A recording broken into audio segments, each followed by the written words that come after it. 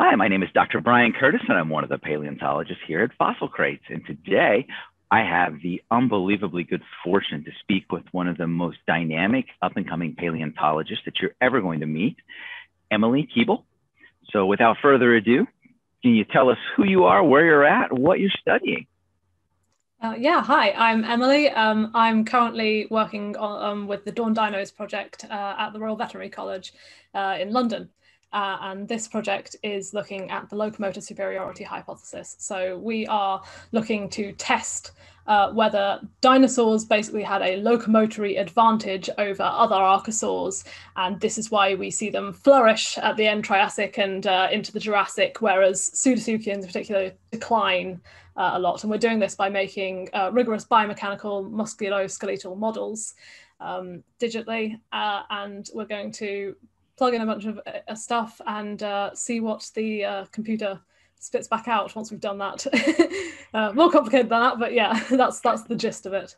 So is the punchline there? You're testing stance, the erect stance versus the sprawled stance, and then are you looking at open acetabulum versus closed acetabulum? Yeah, that's one thing we're looking at posture, um, but we're also looking at things like gait. So, uh, in addition to just having the skeleton and looking at how that stands, we've also got data from living animals. So, uh, looking at uh, the Nile crocodile and the tinamou, uh, a small ground dwelling bird uh, in particular, as our sort of extant um, models uh, in order to see how they're moving and then if we can get our models to recreate their movement we can sort of validate our extinct animal models and see uh, if we're coming up with reasonable assumptions on how they would have moved um, in addition to just the gait uh, the um, the stance can you talk to me about your work in the computers because you are uh, a 3D digital paleontologist based on some of the publications I work, some amazing illustrations and fantastic. Just I don't know. You can't call them. What do you call them? art, graphics, um, drawing? yeah, mo- models usually, because uh, okay. they're um, they are basically scans of the real fossils. Uh, so CT scans uh, and occasionally um, surface scans, depending on what I'm working on. Um, yeah, uh, put them in uh, the software, and then from just having those CT scans, we can separate, or I can separate out the individual bones and move them about and get a nice uh, clear image of what this thing would have looked like in three dimensions, um, which is really cool. Uh, something that technology has allowed us to do in the last decade or so. But yeah, it's becoming more and more of a uh, an interesting and exciting tool that we can use to study these extinct animals. Were you always inclined on the IT side of your interest, or how did you end up in dinosaurs, and how did you merge the future of technology with deep past? Uh, yeah, so I've, I've pretty much always been interested in dinosaurs, but um, the IT st- uh, side of stuff uh, came later during my master's degree um, when I was looking at uh, small fissure fill sediments, so um, fissures in rocks. Uh, and then later, a, lo- a, load of sediment came in there, and with this sediment, we get these small animals um, preserved. Most of them are jumbled up, just isolated elements because they've been washed in there by water. Um, but occasionally you get something that's clearly washed in as one thing or a large chunk of a thing at the very least. Um, and we had one of these in a very, it was a very, very fragile specimen. So we didn't want to prepare it out uh, and uh, risk losing the articulation that it had because it would have had to be done by acid. And it was, it was difficult. We, we just didn't want to risk that. Uh, so we decided to stick it in the CT scanner um, instead uh, and it came back really really nice. And that was the first time that i got to do, do um, any digital paleontology work like properly. Um, uh, and yeah it was it was great and i enjoyed it. And uh, it's just it's just kept coming up in my work again again and again. Um, so I, I, guess now it's kind of my thing. That is fantastic. And you mentioned acid wash so you've done some prep some preparation in your time i take it yeah, yeah. So that was the first um, experience I had with prep. So other other specimens from those fissure fills, we did use acid to, to prep them out, or we took these huge big blocks of matrix. I dunked them in an acid bath overnight, wash them off the next day, dunk them in a bath, bath of water, leave that for another day, and then you come back and pick through all the sediment. And this went on, um, and I did this for several months um, before we got through all the material. Uh, and um, it's great. It, it, gets you some nice specimens. Um, I think I had over a thousand little tiny bits and pieces to go through in the end, but you do end up smelling like vinegar. uh, for several months, um, it would seem. for those that know me, vinegar is one of my most hated and loathed flavors. So, yeah, I uh, I had to do some acid wash way back in the day and discovered that it wasn't going to work for me. The smell alone was going to kill me. yeah, yeah, it, it's definitely not not definitely not for everyone. but but the images, like uh, some of the teeth that you were able to to produce from that, you want to talk about some of those because what was the genus they belonged to and um, most of the uh, teeth and most of the bones and bit species that we recovered were from uh, Clevosaurus, uh, and um, a new species that we actually discovered, Clevosaurus cambrica, um, as a part of that. Uh, that that's what the majority material was from, and occasionally we'd or we'd find or I'd find um, uh, different bits and pieces. So we also had some material from um, uh, a, di- a, dinosaur called Pantydraco. that was a very exciting day when I found we found two teeth on that. And I'd spent the whole day just picking out her bone fragment number 683, bone fragment number 684. And then suddenly the next like slide I looked at, or the next like little chunk of matrix I looked at, there were these two perfect teeth. It's like, I know exactly what those are. it was brilliant. Just really, really typical sort of leaf shaped teeth. Um, exactly, like knew exactly what it was the moment I saw it. That is so awesome. Uh, the very first fossil I found in the Jurassic was an Allosaurus tooth, and I hit a rock, pulled it over, and there it was. And it's just that moment of. And I'm the first person seeing this in 150 yes. million years, and there it is. And it's that sense of just amazing, uh, I don't know, spirituality. And yeah. I don't really know what else to call it yeah I, I really love that about prep that you're, you're the first person uncovering this and the first person to see this uh, ever and that's a really exciting thing for me that's one of the main reasons i really love preparing fossils so you like dinosaurs as a small child as well or yeah yeah i was i was a dino kid my bedroom back at my parents house is painted with dinosaurs um, box full of dinosaur toys all, all everything is yeah i was definitely a dino kid um, but my path to paleontology sort of took a wiggle. So I was like about four years old when I decided I was going to be a paleontologist. Um, but from there, I took I had other interests, and I decided, oh, maybe maybe I'll go off and uh, maybe I'll be an actor, or maybe maybe I'll go into interior design, uh, maybe I'll be a writer. Um, and it took until I was applying for university to sort of come back. I was like, actually you know what? I was right the first time. Uh, um, so yeah i went in i went uh, to bristol university and did um, a degree uh, integrated masters. So four years bachelor's masters combined just get one degree at the end um, and that was paleontology um, as my, my main subject. There's not many places you can do paleontology as a degree but bristol's one of them and it's a fantastic place to do it. Have you gone out in the field and dug anything up or um, sieved or architect, you know, like the the shake trays? Very occasionally, it's um uh, there, there's a really big difference in culture and fieldwork between the North America and the UK and Europe. We don't have as much fieldwork anywhere near as much um, in our degree. There was no required thing. We had one field trip, but it wasn't the sort of intense field work that you do over in the states. Uh, it was more we go along the Jurassic Coast and we uh, do a bit of bit of fossil hunting, uh, break out the hammers, get some ammonites, um, and uh, learn about the geology uh, of that area, rather than we're going to we're going to go out and we're going to collect a triceratops. Um, yeah, it's, it's very different, but I've, I've had the chance to do a bit. So when I was in my master's, we went out and investigated not the exact quarry that the, um, the specimens I was working on were collected from, because they were collected back from, I think, the 50s through to the 90s. And I got to have a look at a very similar one. Um, so that was good. And since then, I've uh, visited the States a couple of times. Um, and we've done a bit of field work. So uh, working on a Edmontosaurus quarry, doing a bit of prospecting um, and uh, collecting. Uh, got called one day to go and collect a bit of dinosaur leg that was weathering out from a local farmer, like um, a very, very um, well-known family for having dinosaurs uh, weather out of their land all the time. We went to go and collect uh, what's probably a Daspletosaurus leg, but it hasn't been formally identified yet. That is so cool. And what did you think of the fieldwork? Did you enjoy being out in the wild west of the United States? Yeah, it was great. Um, yeah, I'd, I'd really like to do some more of it in the future. Um, and I think I'll probably get the opportunity to. Uh, did, but um, yeah. Did you get to drive out here on our roads?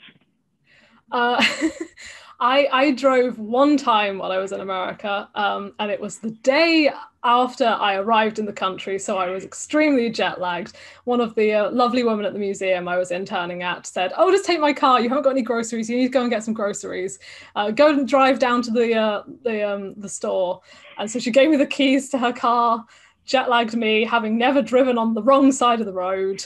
Uh, to a place I wasn't entirely sure the location of, and I didn't have any maps or anything. Um, Luckily, your your roads are on a grid system, so it's very difficult to get lost. It's not like the UK at all. But I haven't driven out on any of the um, off-road roads, uh, sort of bits and bobs. Only that one time. yeah, it was it was a worry as well. I hadn't driven a car for a long time before I turned up as well. I think it'd been about half a year since I'd driven. Oh. Um, yeah. so it was kind of cool. Yeah, my, my background is uh, uh, from the Natural History Museum in London. Um, oh. And, I mean, the building itself is a piece of history. It's incredible. Um, yeah. I had to sign a radiation. When I visited, I had to sign a radiation waiver because of the specimens I was working on were deemed radioactive. Is that still the case down there? Do you still require people? Uh, only only if you're working on those specimens, I imagine. I've never worked on anything radioactive, but there are a couple of cabinets I've seen in the um, in the collections that have big radiation warnings and saying, "Do not open. Contact this person if you want to open these cabinets." Uh, so yeah, there's there's definitely still some radioactive stuff in the in the dinosaur collection. Because when you contrast that with most of the Morrison formation sauropods are radioactive at some level. Yeah. So there's no no one even acknowledges it so it was fascinating to me as a guy who had spent years just playing with radio, you know, low levels. And then I walk over to the specimens and like, wow, they take it. Maybe I should be rethinking how serious we don't take it. yeah, I I definitely have from from doing some work in America and then uh, also working in the prep lab in the Natural History Museum in London, I, I'd say there's a bit of a difference. Uh, I, I would like, for example, I would just go and they're like, oh, you, you need to be wearing a mask to do that. So, oh, oh okay. I, I, guess I'll put that on. um, so talk to us about Dawn Dinos. You mentioned it earlier.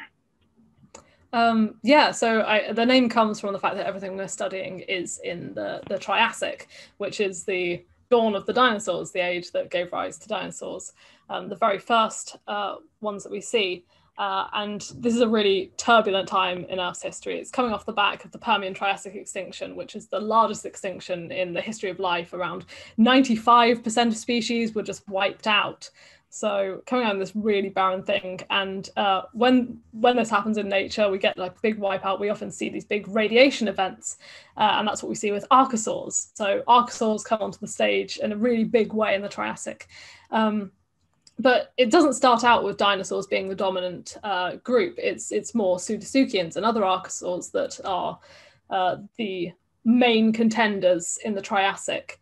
Um, so what we want to see is why they declined, but dinosaurs really took off at the very end of the Triassic and in the Jurassic. Um, that yeah, that dawn of the dinosaurs. That's awesome. That is so fun. And in the last decade, heck, in the last three years, the origins of dinosaurs have effectively been rewritten. We keep pushing them back deeper and deeper in time. The characters that I used to hang my hat on 20 years ago, 30 years ago, uh, most of them uh, turn out to be plesiomorphic or of limited utility or you know, convergent evolution. It seems like all I can hang my hat on now is the open acetabulum. Everything else, I can even the, the, the, traditional three sacrals fuse, but then Saturnalia comes up with two. I said, "Oh, are you kidding me? That's a go-to character," and now it's not. So uh, as I, I love because it's an area that I just get my popcorn out. I uh, I've completely accepted the fact that everything I was taught, everything that I thought I knew to be true, is arguably going to be changed heavily. I don't want to say false because it's research. We search yeah. again. That's the whole thing we do is we go back and look. But it is interesting to to see the the beginnings being written, and it's on these these scrappy, usually tough to get to locales with rough material. it, there's nothing easy about this time period. It's, it's way back in time and, and it's in geopolitically unstable places at times. And I, my hat's off to you and all of those individuals that are doing that work at the beginnings because it will really help us understand how did they supplant those the Pseudosuchians, which seemed to just be they were everywhere. They were climbing in trees, yeah. they were running fast, they were big, they were they were how did they lose it? And then the yeah, mammals were. Of course, there's a lot of convergence between um, dinosaurs and pseudosuchians. So, uh, like one of the characters you mentioned, um, it was thought that dinosaurs had this upright stance and pseudosuchians were more sprawling. Uh, but that's not the case now. We've got things like Poposaurus, which basically looks like a theropod dinosaur. If you were to just glance at it, you go, yeah, it's a theropod. It's got this upright bipedal stance, so walking on two legs. Um, and it, yeah, it's got that erect posture. Uh, and you get things like aetosaurs, um, which are ankylosaurs before ankylosaurs were a thing. Um, it's it's really really interesting studying these animals um, and it, looking at their similarities and differences. Does the ankle still hold true? The crurotarsial, the the ankle, the hinge. Yeah, I th- I'm pretty sure the ankle holds up uh, for well, everything that I've worked on, definitely. well, I, am going to stay with it for now because it makes me feel a little good that some of the things that I have uh, observed still hold true. But I'm a sauropod guy, so we're a totally different. You know, it's pretty much big columns. Big columns. yeah, very, very structurally sound beasts. So as you came through the paleo ranks and you worked through and you're out in the museums, do you work on outreach as well? Do you interact with the public in any of the roles that you're in? Yeah, yeah. So I've done a fair bit of outreach. Um, I started at Bristol University um, with the uh, Bristol Dinosaur Project, uh, which is a really cool outreach project. Uh, we'd go into schools uh, and teach them about dinosaurs. Um, in Bristol, they, they do have a dinosaur um, called Thecodontosaurus, which was discovered uh, in the city. Um, and it was the, I want to say, fourth dinosaur ever discovered. So after Iguanodon, uh, Megalosaurus, and uh, Hy- Hylaeosaurus, yeah. Um, That'd be a great trivia so, question. What was the fourth named dinosaur? Yeah. Everybody knows the first three, but the fourth, I like it. So, so is it mean socket tooth lizard? Yeah, yeah, it does. Um, but this was a another small sauropodomorph uh, dinosaur. Um, uh, yeah, again, again from the the Triassic, um, and closely related to Pantydraco, uh, the one that came up in my master's project um, yeah, we go out in schools, do do talks and things, um, do workshops uh, with kids. Um, that was my first sort of real experience with outreach. Uh, since then, I've done workshops with uh, guides. I did one, um, and probably the main thing that I do now is my Instagram, where I do a lot of uh, short posts, pictures, um, in that capacity, um, which uh, I, I really enjoy, and hopefully people enjoy it as well. Uh, I have a lot of fun doing that uh, I know I've definitely enjoyed watching your posts and, and reading them. And I can tell you that when we featured you on our site, the response, the direct messages, not only the public messages, but the DMs on the Facebook and the Instagram side were tremendous. There was a number of fathers and mothers that came forward and said, Thank you so much. Uh, I know some of them are going to be joining the, the paleo portals because they want to hear, if, if you're able to speak there, they're very excited to have you as a role model for women paleontologists and it's something I never even realized that I started looking back. All the pictures are of guys digging things up, and now we have such wonderful. You know, your science is first rate, uh, and now you have, you're inspirational. You're showing that it can be done by by girls too. And a lot of them said, "My daughter is 10, and thank you so much for showing a woman doing paleontology." So you're doing a great job at that for sure yeah there's there's so many fantastic women doing paleontology these days um, but I, I feel the media tends to still focus on on the guys a, a lot of the time. Um, so yeah i guess we've just got to keep pushing uh, show show what we can do um, because there, there are there are so many women in paleontology doing fantastic work. Do you have any advice for anyone uh, any of the young people today, especially young women, but young men as well, that may be interested in becoming a paleontologist? And do you, do you have anything you, any words you would want to share with them? Putting yourself out there is really, really important. Um, and it took me quite a long time to to figure this out. I'm I'm generally a very shy person, so it's it's quite a struggle to put myself out there. But once I did start asking uh, about and getting involved with more things, more opportunities come up um, as you make these contacts. I had one point where I was working on um, the uh, Aetosaur paper um, that I, I, did where I'd um, I knew I was going to America for the summer to intern um, and I quit my job uh, to have a little time to prepare and then I realized I have all this free time. So I just emailed a bunch of people asking um, have you got anything uh, I could do? Can I help with this? Uh, and they all got back to me and said yes. Uh, so it, it's really a case of putting yourself out there but it did mean I ended up living in a hostel for a bit working on three separate projects and commuting to London from Bristol uh, once a week which is a three hour bus ride which is fine but yeah. Be careful what you ask for i guess is one of yes. the uh, other sides yeah. of it. Yeah maybe, maybe another bit of advice is don't take on too much. Put yourself out there but know when to stop. So emily you've done public outreach but you also do some more formal public outreach i believe. Um, yeah so yeah, uh, I'm currently a writer for Eons, uh, which is a fantastic channel on YouTube um, uh, uh with PBS, uh, PBS Eons. Um, they do excellent videos uh, on prehistoric life and paleontology and evolution and all kinds of interesting topics. Like I was, I was a fan long before I was a writer, so it's a really good channel, um, and it's been really interesting to get to write for them and really exciting um, to do that. Um, and I've also uh, consulted and written for a couple of uh, DK books um, for the publisher Dorling Kindersley, um, which is also incredible because these were the books that I was reading as a kid, like the DK yeah. Eyewitness books defined my childhood. And now I'm writing and consulting for the same company, which is just fantastic. Uh, if, if little me could see me now. oh, what a great phrase. That And that is so true. PBS Eons, how did you come across both those opportunities? Did they reach out to you based on your social media page or how did you, did they, uh, did you apply? Yeah, so um, Eons I applied for. Um, that, that was a yeah fairly normal application, but I did include my social media in the application, um, and it was mentioned as being a, a good thing for me because I do these little informative posts, and they they said they liked uh, the way that I did that.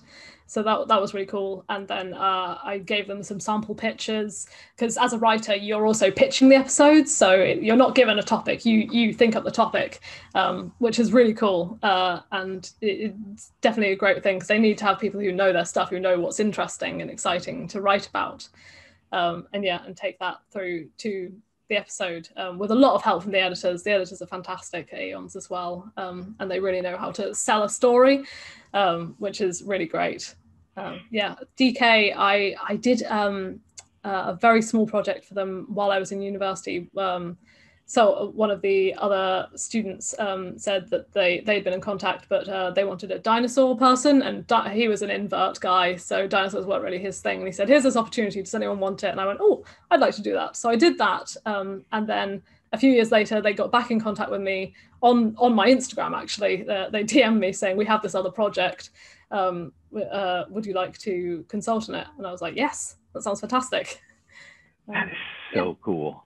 That is awesome. So it, it, I love how young you is now fast forwarded to, to, and you are influencing the next generation. They're reading your items and yeah. reading your stories. So you are now putting a positive impact to the next gen already. That's so awesome it's it's crazy to think about. Um, but yeah it's it's brilliant if i can get kids interested in science um, or or even stories uh, that's also a really important thing. Um, um, yeah there's there's so much interesting stuff that i've had the opportunity to be involved with. So thank oh. you so much for taking the time to share what a just wonderful adventures and the great work you're doing. It's absolutely fantastic and uh, we look forward to speaking with you again and getting more into your research. I can't wait. Yeah, no problem. It's been um, it's been really fun. Thank you for having me. Uh, you're welcome. We'll talk to you soon. Thank you kindly. Adios. Thanks.